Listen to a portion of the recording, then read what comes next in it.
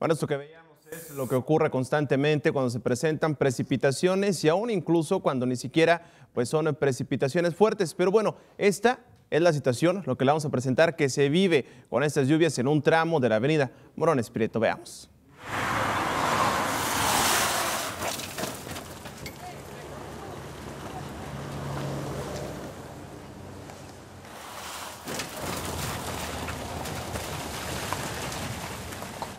Así es como decenas de automovilistas estuvieron a punto de formar parte de la estadística de accidentes viales luego de que un deslave obstruyera carriles de la avenida Morones Prieto en Santa Catarina. Piedras, basura y tierra es lo que arrastraron las corrientes que bajaron de la colonia José María Garza por la lluvia de este sábado.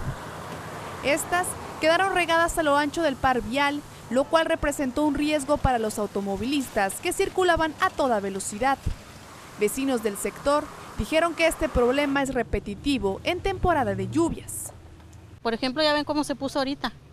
La vez pasada se puso, pero hasta acá. ¿De agua? De agua.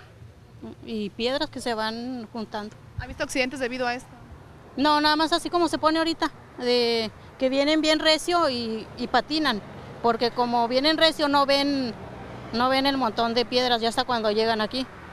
Sin embargo, sobre los carriles derechos en dirección oriente, parte de la carpeta asfáltica quedó levantada y se formó una zanja.